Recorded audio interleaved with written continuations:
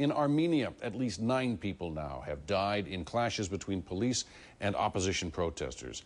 Outgoing President Robert Kocharyan has imposed a state of emergency following 11 days of turmoil now. His decree bans mass gatherings and restricts news media to reporting only official information. Overnight violence left Yerevan's streets littered with burned vehicles. Riot police fired guns into the air. They also fired tear gas canisters to disperse thousands of protesters. The government is denying the use of excessive force, though.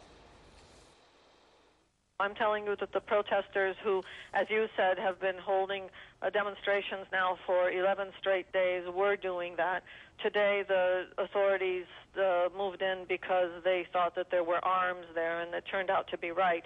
There has been some violence on the streets. We're con- uh, convinced that this will come to an end soon, and we are hoping that with the help of the international community, the opposition, the leader of the opposition, will come and enter a political dialogue rather than continuing this debate on the streets.